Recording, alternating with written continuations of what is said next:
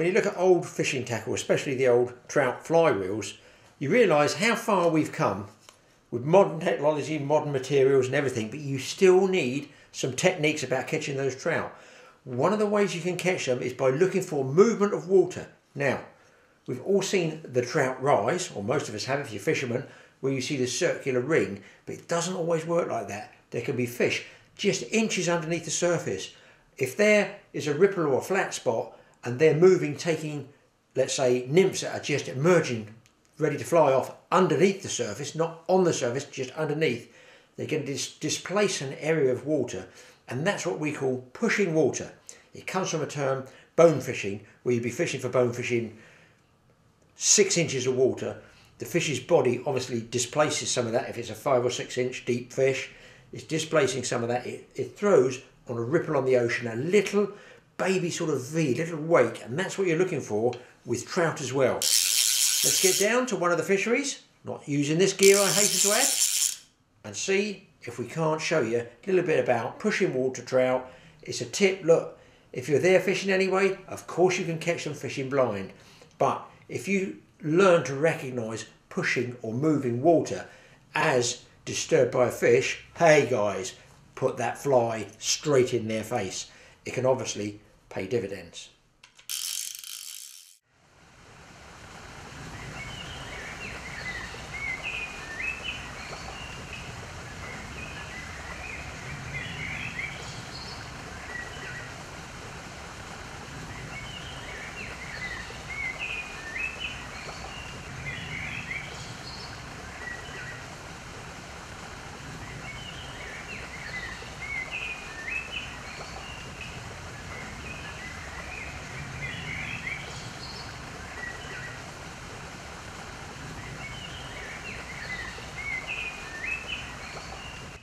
So even on a calm, still day like this, you're going to get bits and pieces blowing in on the water, and that's going to draw fish to the surface. Now, if you just look how flat this is, just look for any form of movement, anything at all.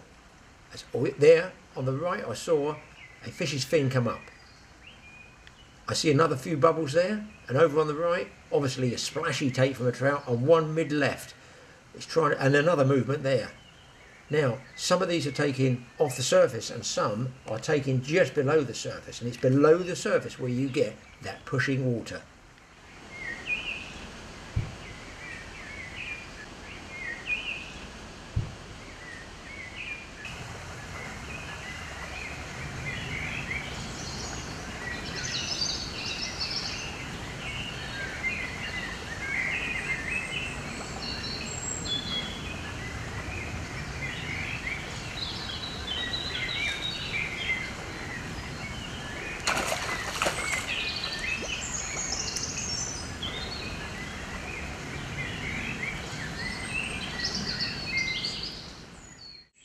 That's what we were talking about.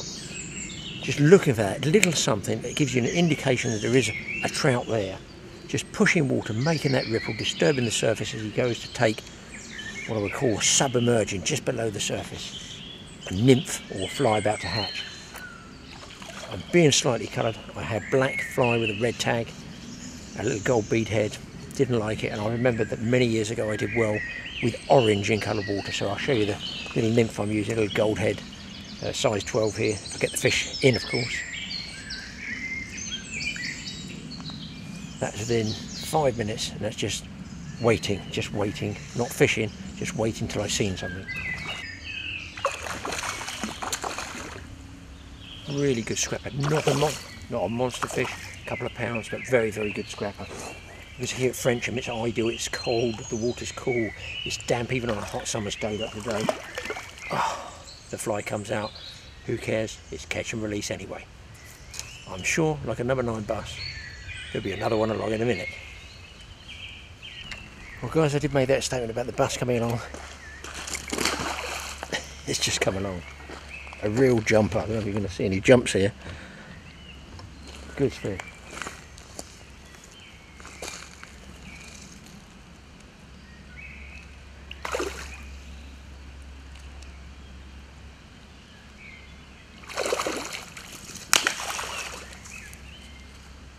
And that one was exactly the same cast, the same area where I've seen that ripple movement.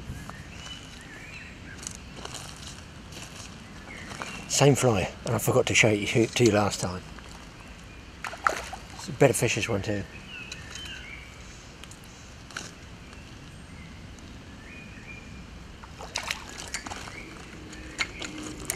I'm in stealth mode here, as you notice I've taken the cogs off the ratchet of the reel. It's nice and quiet. That way you don't get other anglers bothering you because they don't have the ratchet going all the time. It's catch and release so you can catch and release and nobody even knows you've had a fish, bar the odd splash. Nice rainbow. Well now this is catch and release. So I'm just going to take the fly out in the water. There we go. Keep the fish in the water all the time. Let me show you there. That's the fly. Gold head.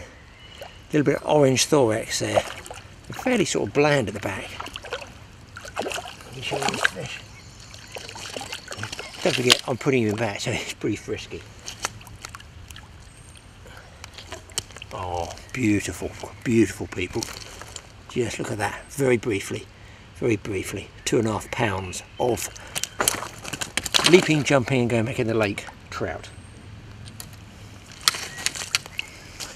Now all I have to do is go and look for some more of those pushing water subsurface ripple movements.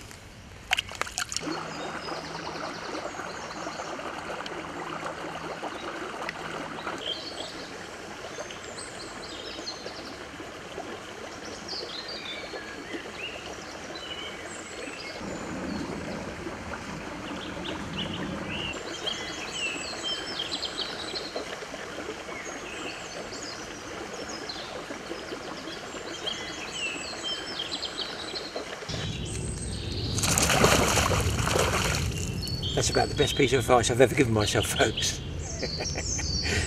Make sure you cast exactly where you see those pushing water shapes.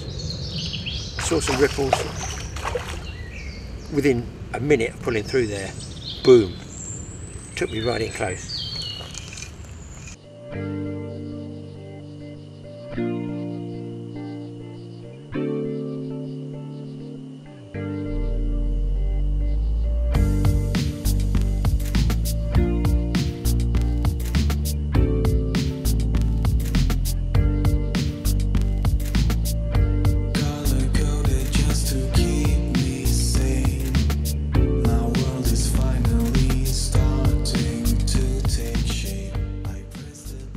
Always watch your back cast, especially when there's a lot of trees, bushes or overhangs.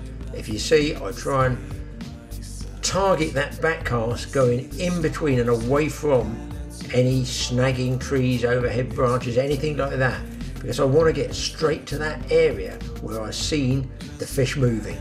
Place the fly in the general area. Now you've got no way of knowing whether it's going right, left, sideways, obviously not. But there's no question that it's a method if you can learn to, it's basically, let's face it, guys, it's watercraft. It's only something that years on the water will teach you to look for. And the more times you cast at an area where a fish is moving in, the more chance you're going to have of getting your fly intercepted.